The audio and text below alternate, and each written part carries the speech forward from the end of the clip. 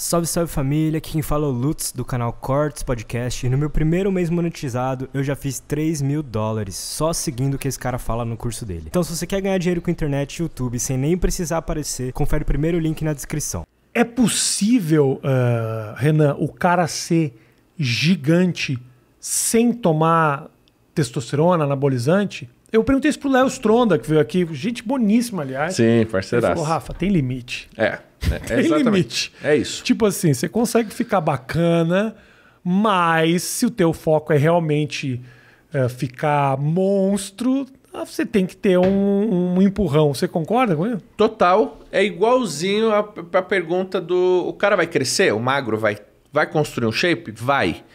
Só que ele vai ser um campeão? Não. O cara pode ser grande sem tomar anabolizantes? Pode. Principalmente se ele tiver uma boa genética, se ele come muito, se o corpo dele absorve bem os nutrientes, ele vai ficar grande. Só que ele vai ficar do tamanho do Ronnie Coleman? Ele vai ficar do tamanho do Big Ramy? Não vai. Aí é, um, é, é um- é uma divisão. Então até aqui é o limite. O cara pode ser um prodígio e passar, mas ele não vai chegar aqui. Porque aqui é outro nível. E o recurso ergogênico levou esses atletas nesse nível. Então não, não existe alguém que nasceu com a genética tão foda que chegue aqui ainda. Sim. Não que eu vi nessa vida, velho. Ou nas vidas que eu nem, nem estava nascido aqui. É. Porque tem muita história do bodybuilding lá pra década de 90, 80, 70, 60. Tem muita história, tem muitos caras fodas. Que a gente olha hoje e fala como o cara era daquele tamanho naquela época. Aham. Sendo que hoje os caras lutam pra chegar próximo, né? É muito louco isso. É que mudou muito, né? A, a, a- a- farmacologia toda mudou, droga mudou. Então você vê os Tudo. caras campeão de fisiculturismo de 1982, era um físico completamente diferente do cara de completamente agora. diferente. Mas aí que tá. Um Rony Coleman da vida, hum, poucos atletas hoje chegam na qualidade de shape que ele tinha. Mas também treinava que nem um cavalo, né? Muito treino. Não consegue caminhar hoje, mas Foda. tá tortão, né? É, ele tá Botava uns destruído. agachamento com. Não, ele já assim, ó, fez. Matheus, o cara falava assim, ó, vamos fazer o agachamento. Aí o cara fazia com ele, o cara botava, sei lá, 150 quilos. Aí o Rony Coleman falava, eu vou botar uma casa.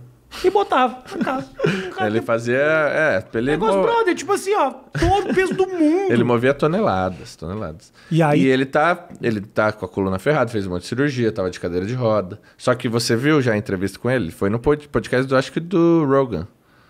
Sim, vi. Você viu? vi, Você vi, viu a vi. pergunta que ele, ele fez? Qual? Eu vi Se o- hoje você pudesse voltar no tempo, Ah, Rony Coleman, você teria feito algo diferente? Você viu a resposta dele? Ele falou que não, eu faria, faria tudo igual, né? Ele falou assim: não, faria algo diferente, eu faria uma repetição a mais. Você é louco, velho.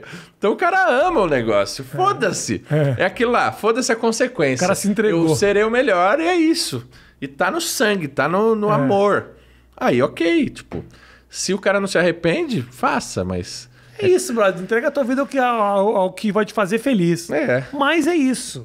Se puder rolar o alerta pro cara, ó, meu irmão, dá pra ser muito legal sem morrer. Isso, porra, mó legal, né? Dá pra ser legal Se sem dá- morrer. Porra, depois você, não, você vai andar tranquilo. É. E hoje a gente mostra muito isso. Principalmente com os treinos com técnicas, o é, uso do elásticos em, al- em alguns equipamentos. Porque você aumenta, você não precisa colocar tanto peso. O elástico tem a força elástica. E quanto mais você estica, Ah. mais pressão, mais difícil fica. Então você vai ter uma tensão maior, só que com menos carga. Uhum. Então tem muita coisa hoje que dá pra você evoluir sem se lesionar. Teve alguma coisa que algum alguma algum tratamento, alguma coisa que você tomou que não te fez bem?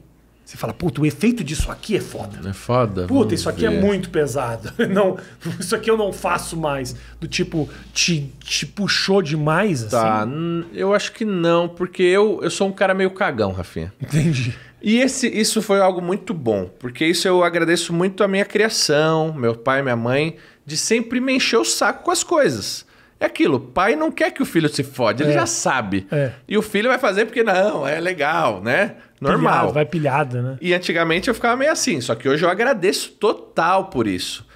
Porque com isso eu sempre tive o pé no chão. Eu sempre fui meio, pô, será que é bom? O que que isso vai fazer? Eu sempre quis entender. Então o cara vem, ó, Renan, você vai usar isso. Mas por quê? Hoje as pessoas não perguntam o motivo. O cara Já só usa. tomando, né? Rafinha, usa isso. Você- o cara vai usar. Pô, o Renan falou, é bom. Ainda mais se alguém deu pra ele, é um cara grande. né? É, Ah, é, pô, é. Se esse cara tá falando. Tá falando, eu vou fazer. Só que eu sempre fui assim, beleza. Eu peguei a informação. Aí eu vou lá. O que é? Para que serve? Como funciona? Que, que isso vai me trazer de benefício e de malefício? En- Então eu sempre fui entendendo e grandes nomes assim de substâncias que eu já sabia que faziam mal já me chegaram, já, já chegou para mim dessa forma. Então eu nunca usei. Entendi. Então coisas que eu sei que são viciantes. O que, por exemplo? Diz o. Potenai, por exemplo. O que, É um- que é isso? O que, que é isso? Potenai, muitas coisas do que fisiculturistas usam, atletas usam, marombeiros usam. É porque se eu falar só fisiculturismo, É. ah, os, tô falando que É. os atletas. Ah. Não, não, não. Os marombeiros vem dos cavalos, Aham. né? E o Potenai é um estimulante para cavalo. É, então deixa o cavalo doido. E o que, que descobriram? Que se o cara tomar e treinar, ele vai ter um gás. Então, já chegou pra mim como uma coisa ruim. Chegou assim, Renan, isso aqui que a galera usa é tipo uma cocaína é, injetável. Você vai ficar loucão, vai treinar pra caralho, não vai sentir tanta dor, então você vai melhorar seus treinos, não sei o quê. Só que olha como chegou pra mim. Então, um negócio, uma cocaína injetável, um nome já forte. Já. Já viciante De cavalo. de cavalo e que você nunca mais vai parar porque cada vez você vai querer usar mais. Então eu agradeço que chegou assim pra mim. Porque você- ia querer usar isso? Agradeço a péssima comunicação. É, é, é. Por exemplo, se eu falasse pra vocês, Rafinha, usa que é bom. Mas ele faz isso, isso, isso. Você ia querer usar? Eu não uso nem cerveja. irmão. Não, então, Quanto pelo amor de Deus. Então, como já veio pra mim como uma coisa ruim, eu nunca usei. Então eu não tive nada assim de, de compartilhar, de falar, pô, acho que não. E também porque os teus objetivos, eles são diferentes do cara que compete gigante, né? É. O cara, o cara que. Provavelmente o cara que é da categoria que você falou do Arnold, que é o que? O Classic, é isso? Não. É, o Classic é que eu vou agora. Não, não. Eu Como é vou que é voltar. a categoria do cara. O bodybuilding, o Open. A Esse de Open. cara aí, ele tem que ter um up muito grande pra chegar do tamanho que ele chega, né? Sim, o que muda, Rafinha? Até a minha competição ser WBFF, que eu era modelo fitness, eu não, não precisava tanto de, da muscularidade, essa maturidade, densidade de você relar no músculo do cara e falar, mano, é uma pedra. O, o fitness, você tem, pode ter aquele shape mais suave, definidão, bonito, sabe? Agora que eu vou pra Classic, eu preciso, estou construindo muito mais maturidade. Então, só de Tá. olhar pra mim, um aspecto já muda. Tá. Muitas pessoas que ah, convivem, a galera que me segue, tá vendo que você olha assim, ó, você já vê um desenho mais, uma vascularização maior. As pernas, se eu mostrar a perna, você vai falar, caraca, sem treino ela tá cheio de vaso- vas- vascularização, um corte já mais profundo. Por quê? O que muda? É, Eu tô usando mais coisa? Não. Eu tô trabalhando mais específico para isso. Tá. Então, meu treino é mais paulada ali, é mais. A, a- a gente faz uma divisão de treino que é mais pegado. Hoje, por exemplo, minha prioridade é dorsal, eu treino três vezes na semana dorsal. Sabe o que é treinar três vezes na semana na dorsal? Eu montei com balestrinha esse treino. Coisa. É paulada. Dorsal é, o treino, é um dos maiores treinos que tem. É muito fluxo sanguíneo que você gera. Aham. É muita, muito gasto calórico. E a gente está batendo, entende? Então o trabalho de um Open é esse. É muito, muito treino. É muita comida. E a droga nem precisa ser muita, porque já vai responder. Mas o que, que, é, o que, que é o teu treino? Me fala o seguinte, por exemplo. Segunda-feira, você vai. Você treina o quê? É um, é um grupo por dia que você treina? Isso, é, é aquilo. O meu treino não serve para todos. Cada um tem que ver o ponto. Tá. Por exemplo, o Rafinha, pô, tem um braço muito bom, mas precisa de ombro. Só de olhar aqui eu vejo que É. eu já farei um trabalho muito melhor de ombro para Mas você. é um pouco da minha estrutura longilínea. Exato, mas só de olhar a gente sabe. Então o que, É. que você vai ter que fazer? Treinar mais ombro.